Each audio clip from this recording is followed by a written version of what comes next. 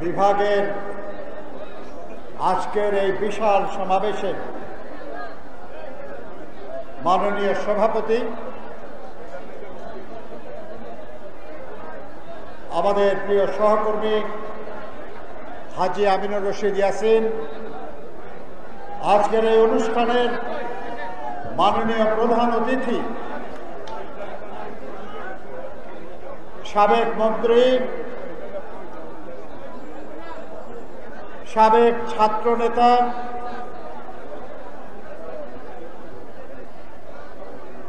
বিশিষ্ট রাজনীতিবিদ, সংগ্রামী জননেতা, বিএনপির সংগ্রামী মহাসচিব মির্জা ফখরুল ইসলাম আলমগীর। আজকের এই অনুষ্ঠানের মধ্যমণি যিনি এই অনুষ্ঠান সফল করার জন্য প্রধান দায়িত্ব পালন করেছেন বিএনপির প্রতিষ্ঠাকালীন নেতা, জাতীয় স্থায়ী কমিটির জ্যেষ্ঠতম সদস্য, সাবেক মন্ত্রী, জননেতা ডক্টর খন্দকার মোশারফ হোসেন, উপস্থিত সাবেক তুঘর যুব নেতা ঢাকার অবিভক্ত ঢাকার সাবেক মেয়র, সাবেক মন্ত্রী, বিএনপির জাতীয় স্থায়ী কমিটির সম্মানিত সদস্য, জননেতা মির্জা আব্বাস, উপস্থিত বিএনপির সংগ্রামী ভাইস চেয়ারম্যান, সাবেক মন্ত্রী, এবং এই অনুষ্ঠান সফল করার জন্য অসীম পরিশ্রম করেছেন সাবেক যুব নেতা জনাব বরকতুল্লাহ বুলু এদেশের ব্যবসায়ীদের শীর্ষ সংগঠনের যিনি শীর্ষ নেতা ছিলেন,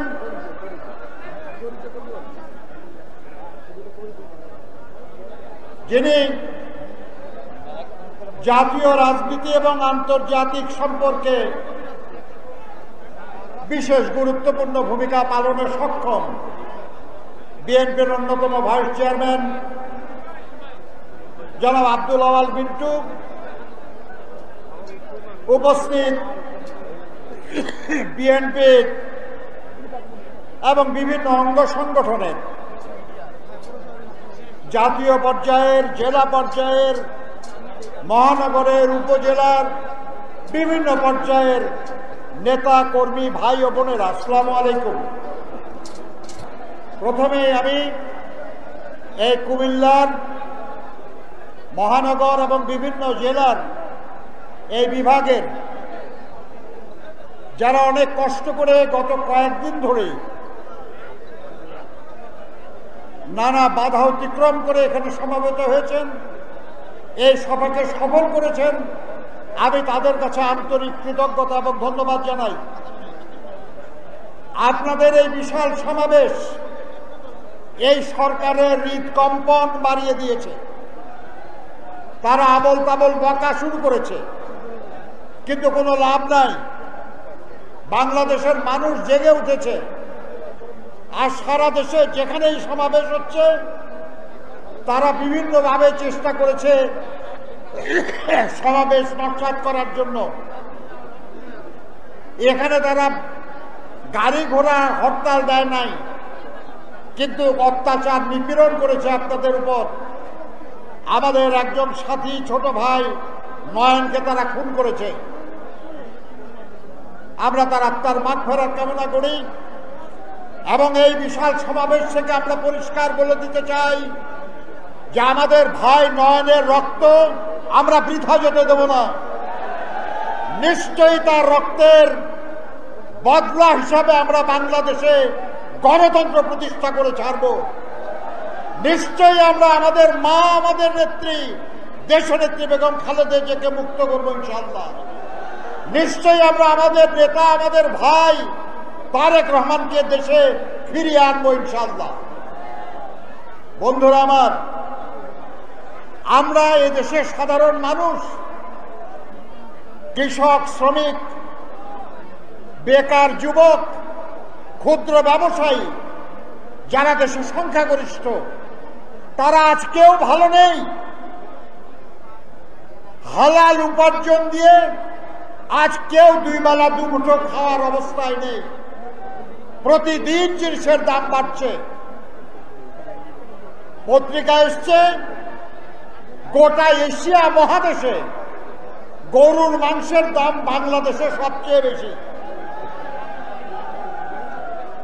ইউএনডিপি রিপোর্টে প্রকাশ হয়েছে যে বাংলাদেশের খাদ্যদ্রব্যের দাম এতই বেড়েছে যা জনগণের ক্রয় সীমার বাইরে চলে গেছে। উপার্জন বাড়ে না, প্রতিদিন জিনিসের দাম বাড়ে, আর তার প্রতিবাদ করতে গেলে বিএনপির নেতা কর্মীদেরকে গুলি করে মেরে ফেলা হয়। এ পর্যন্ত আমাদের আটজন সহকর্মীকে হত্যা করা হয়েছে। কিন্তু সেই হত্যায় আপনার তো দমে যান নাই, বরঞ্চ যত অত্যাচার নিপীড়ন হচ্ছে, আমাদের জনসভাগুলিতে লোক সংখ্যা ততই বাড়ছে। তারা আটকে আটকে রাখবে, আসতে দেবে না বলে দুই দিন, তিন দিন, চার দিন আগে আমাদের সহকর্মীরা তারা জনসভা স্থলে এসে বসে থাকে। এটাই হলো বাস্তবতা। আর এই বাস্তবতা সরকারের যারা আছে, তাদের মাথা খারাপ করে দিয়েছে। পত্রিকায় দেখলাম, দুর্নীতি, অনাচারের তো একটা সীমা থাকে। আজকের পত্রিকায় আছে, ঢাকা ময়মনসিং রোড, এই যে মহাসড়ক, এই মহাসড়কের জমি কি কারও পাবেন নাকি? এই জমি ব্যাংকে দিয়ে পনেরো কোটি টাকা নিয়ে গেছে আওয়ামী লীগের লোকরা। বুঝেন, মহাসড়কের জমি, ওইটা দেখে কোটি কোটি টাকা লোন নিয়ে যাচ্ছে।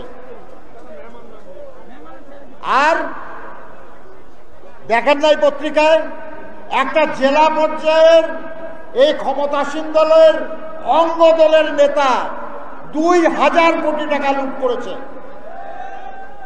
একটা ক্ষমতাসীন এই দলের জেলা পর্যায়ের একটা অঙ্গ দলের নেতা যদি দুই হাজার কোটি টাকা লুট করে, তাহলে অন্য নেতারা কি পরিমাণ করেন? আর এইভাবে যদি লুট করতে দেওয়া হয়, তাহলে যে রক্ত দিয়ে যে দেশ আমরা স্বাধীন করেছি, এই দেশটা টিকবে? কাজে এটা হতে দেওয়া যায় না। আর সেই জন্যই আমরা পরিবর্তন চাই। তারা বলেন যে আমাদের নেত্রী এতিমের টাকা মেরে জেলে আছে। আমাদের ভাই, আমাদের নেতা তারেক রহমান বিদেশে টাকা বাড়াতে পাঠানোর মামলা জেলে আছে। আমরা বলি, তারা কেউ কোনো অপরাধ করে জেলে যায় নাই। আপনারা তাদেরকে ভয় পান। আপনারা তাদের জনপ্রিয়তায় ভয় পান। আর ভয় পেয়ে তাদেরকে বাইরে রাখার জন্য নির্বাচনী প্রক্রিয়া থেকে দূরে রাখার জন্য আপনারা ফরমাসি রায় দিয়ে তাদেরকে জেলে রেখেছেন, তাদেরকে দণ্ড দিয়েছেন। আমরা আপনাদের ওই দণ্ড মানি না। বাংলাদেশের জনগণ মানে না। আর মানে না যে এটা প্রমাণই করতে চাই আমরা। আমরা চাই একটা নির্দলীয় নিরপেক্ষ সরকারের অধীনে নির্বাচন হোক। দেখা যাক, জনগণ খালেদা জিয়াকে পছন্দ করে না আপনাদেরকে পছন্দ করে। জনগণ তারেক রহমানকে পছন্দ করে, না আপনাদেরকে পছন্দ করে। যদি তাদেরকে জনগণ পছন্দ না করে, তাহলে আপনারা ঠিক। আর যদি দেখা যায় জনগণ তাদেরকে পছন্দ করে, তাহলে আপনারা মিথ্যা কথা বলছেন। ভাব দেখায়েন না। মালয়েশিয়ার মাহাতির মোহাম্মদ, এত বড় নেতা, এত বছর ধরে চালালো এইবার নির্বাচনে জামানত বাজেয়াপ্ত হয়ে গেছে। কাজে আপনাদের কি হবে সেটা ভাবেন? সুব্দ ভালোভাবে একটা নির্বাচন হলে যারা যারা চাপা মারতেছেন, একজনও তো জিতবেন না। বন্ধুরা আমার, সেই শুভ দিনের জন্য আমাদেরকে, আমাদের এই লড়াই জারি রাখতে হবে। আমাদেরকে আরও বেশি ঐক্যবদ্ধ থাকতে হবে, আরও বেশি সংগ্রাম চালিয়ে যেতে হবে।